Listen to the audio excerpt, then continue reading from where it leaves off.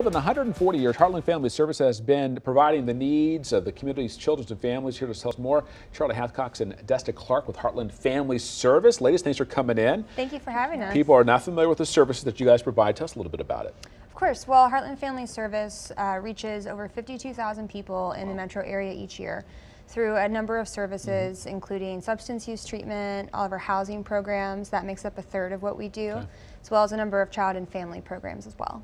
So, Desta, you got to raise some money. You need to support all this stuff. You have a, a, fundraiser coming up. Tell us about the Strike a Chord Gala. You betcha. We have Strike a Chord Gala coming up mm -hmm. in Council Bluffs on June 14th at the Mid America Center.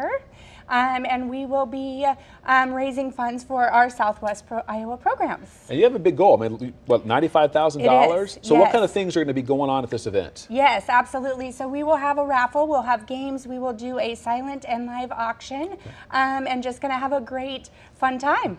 And you guys are honoring some people as well, giving, giving out some awards, some honors? We are. Uh, the night of the Strike a Chord Gala, mm -hmm. we present two awards. Salute to Achievement Award, which uh, honors a current client who's been through four of our programs. Okay. And then our Salute to Leadership honoree is Don Landon, who served as the Assistant Pottawattamie County Attorney for over 15 years. Wow. Yeah. So it's everyone invited to this? Or certain people you're looking for? Does it matter send the whole community out here? Sure thing. So we are still looking for donors and sponsors. So you can buy um, individual tickets for $80 or you can do a table sponsorship for $800. Okay.